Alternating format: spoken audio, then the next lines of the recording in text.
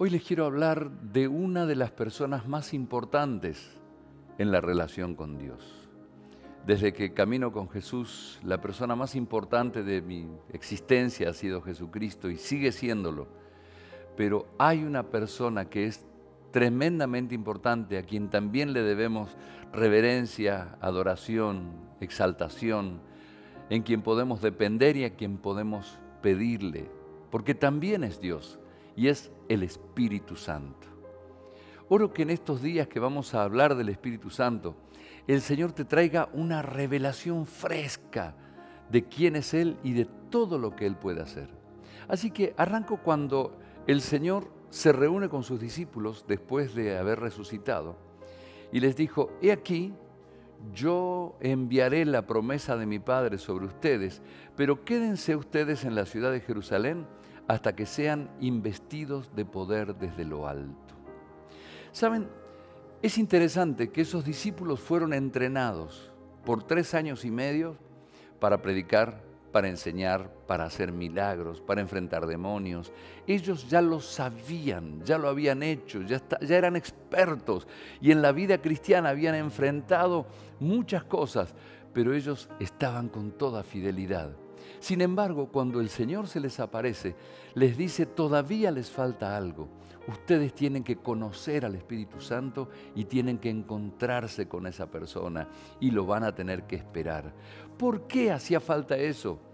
Porque cuando uno trata de vivir la vida cristiana por las propias fuerzas, sin darse cuenta se va convirtiendo en, una religión vacía.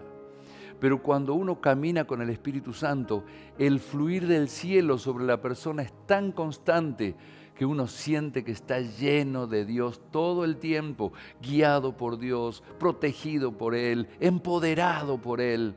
Entonces es muy importante que entendamos que lo primero que el Señor les mostró cuando habló ya de la relación con el Espíritu Santo es que se tomen tiempo para buscar al Espíritu Santo.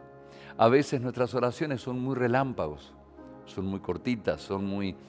Y sin embargo, Dios dice, tómense tiempo. Ellos les tomó siete semanas, más de siete semanas, porque fueron 50 días de oración en expectativa. Y ahí estaban, a la mañana, a la siesta, a la tarde, a la noche, y seguían al otro día, y seguían al otro día, día por día, 50 días esperando. El mensaje es, querés conocer al Espíritu Santo, querés vivir toda la abundancia que trae el Espíritu Santo, vas a necesitar tomarte un poco de tiempo solo para buscar su presencia.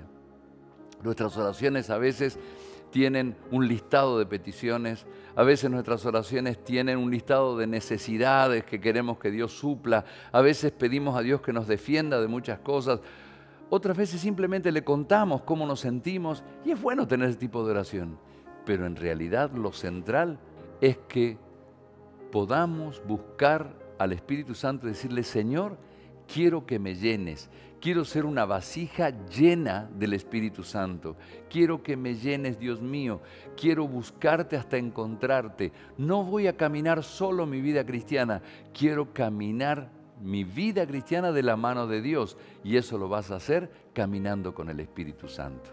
Que Dios te bendiga.